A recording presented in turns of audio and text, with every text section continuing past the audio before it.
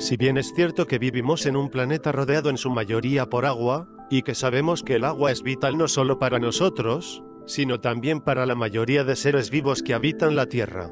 También es cierto que a lo largo de la historia, la ciencia nos ha hecho creer que el agua es solo un líquido compuesto de gases, y su única función es la de hidratar, y ser un motor que da vida a casi todas si no es que todas las especies vivas de nuestro planeta. Lo que nunca nos dicen, es que el agua es más que eso.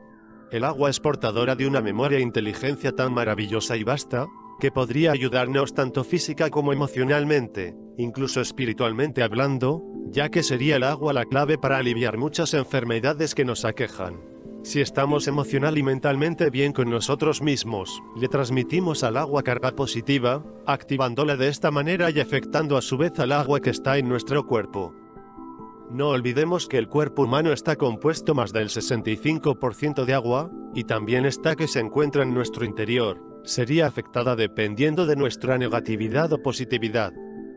Se ha demostrado por algunos científicos que están fuera del sistema, como el doctor Masaremoto, que no trabajan para ninguna institución oficial, de que el agua es una portadora de conciencia que reacciona ante la oración, la meditación, la música, la luz, los pensamientos, e incluso reacciona a palabras escritas, ya que en muchos estudios se ha podido comprobar cómo cambia su estructura ser expuesta a palabras, intenciones o a piezas musicales.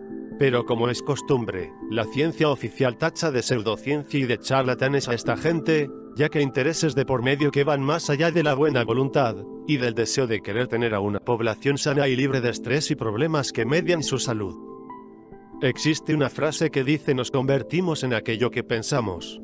Esto exactamente refleja lo que los gobiernos y los que dominan al mundo quieren que exista caos para que haya caos a nuestro alrededor, y dentro de nosotros también. Recordemos que la mayoría de enfermedades son psicosomáticas. Ahora hablaremos del Dr. Jane Chappell, el psicólogo nutricionista, quiropráctico, naturópata y médico herbolario. Cuenta en una de sus narraciones que estuvo expuesto a un experimento con un agua blanca, creada por un investigador que le dio este nombre, ya que el agua estaba energetizada con tecnología de ondas escalares. El investigador de nombre Norman, extrajo sangre del Dr. Chappell y puso una gota en un microscopio, que a su vez estaba conectado a un monitor por el cual pudieron ver los glóbulos rojos que estaban deshidratados. Norman le pidió al doctor beber del agua que estaba en una jarra, a 10 metros retirado del lugar. Ante el asombro del Dr. Chappell pudieron ver cómo los glóbulos deshidratados comenzaron a rehidratarse. Y todo esto, a una distancia de 10 metros. El doctor no podía creer cómo a distancia, la sangre que estaba fuera de su cuerpo reaccionaba cuando él bebía el agua.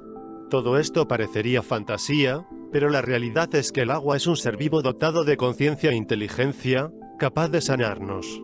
Si cargamos de energía positiva el agua que bebemos, podríamos imprimir en ella deseos y pensamientos que nos ayuden a lograr una salud óptima.